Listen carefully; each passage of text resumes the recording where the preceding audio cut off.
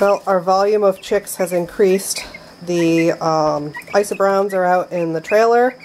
I put them there a few days after I did the first video because they were feathered out and ready to go. We're going to build the chicken tractor for these guys, hopefully today and tomorrow, and then get them out on Monday because they are filling up the kiddie pool. We're going to weigh them, and some of them are over a pound already. So we do a small, medium, and a large just to see what the growth rates are. And yeah, super fun. So this is a small chick, and we have 13.8 ounces. I'm going to say that this is a medium one, and we have 18.95 ounces. We're over a pound a bird. Okay, and here we have our feisty 20.25 ounce chick who thought that he or she should fly out of my arms, but did not because they didn't let go with their feet. Big one. Yep, that really big one was really big and throwing a pitch and a fit about being picked up. These guys are feisty. Um, they do not like it when I clean their enclosure. They peck at me. But they're always very happy when I bring them food. And I just cleaned their feeder, like not two minutes ago. Look at that. Feeder full of chips. We've gone through about a bag and a half of chips so far. We've gone through about a bag and a quarter of chick feed um, between the ISAs and these guys. These guys eat. They drink, they eat, they sleep, they poop. That's what they do. They all seem fairly healthy so far. They are very lazy. Okay, even though we're not deliberately feeding these guys anything other than the chick starter because they actually do eat the wood chips, I am giving them grit. And that way they have something in their gizzard to help grind up that plant material. Nobody ever said they were smart.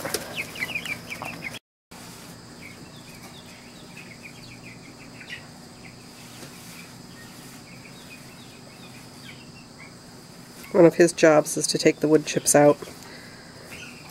And of course, because he's little, he takes his time. But he does a good job.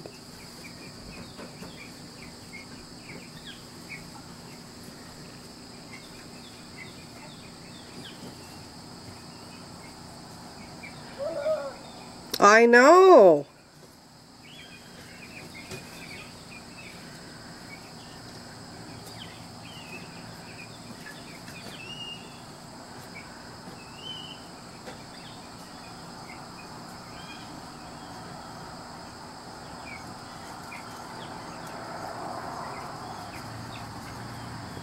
This is the chicken tractor. It, my mother and I completed it this more or this afternoon. It took us all day to finish it. One day project my butt. Um, I want to say that this took us like five days to build, maybe six days. It, it was a lot, and my back hurts. During the daytime, the blue tarp will be pulled back to where the camouflage tarp is so that they can have about, you know, one third uh, shade and a third sunshine or approximately, whatever. It's all chicken wire. We may have to reinforce with hardware cloth so that the little raccoons and skunkies don't pull the chickens through piecemeal. The cats thought that this was an absolutely fantastic project and wanted to be involved in every single aspect of it and now they're a little bit put out that they can't actually get inside. So I guess if we have a cat inside in the morning, we'll know that we need to do a little bit more reinforcing. Okay, here are the little fatty Cornish crosses, and I had to divide them up between the kiddie pool and the old lawnmower box. So we're all going to sleep in a little corner there. Are feathering out. They are three weeks old today. Tomorrow they will be outside in the lawn, and I'll do a video on that. And um, you're going to get to see that, like, you know, cut to right now. Behold the chicken tractor with chicks in it and it's going to be a bumpy walk because I'm on uneven ground here. Try to keep the camera steady for you. We have a little chicken there. So we only counted 26 chicks. I have 27. So I'm not entirely certain if I miscounted. Morning guys. How we doing, huh? Like the new digs?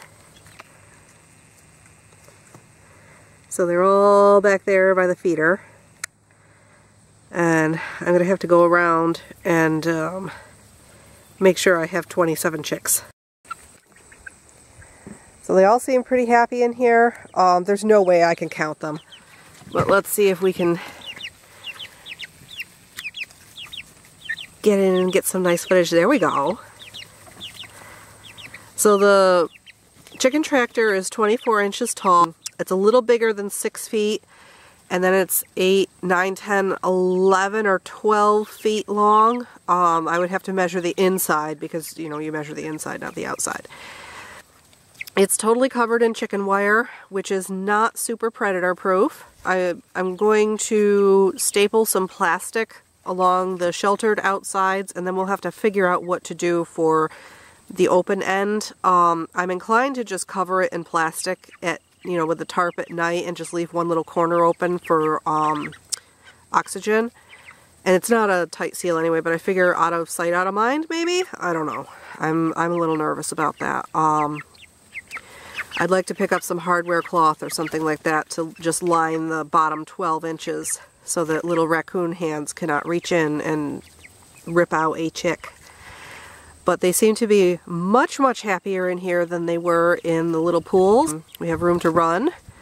We have room to challenge each other. We have room to back off from challenges to each other.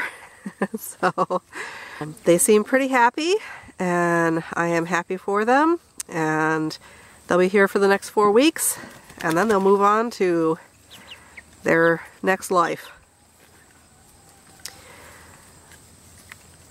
What is the next slide? Uh, freezer camp.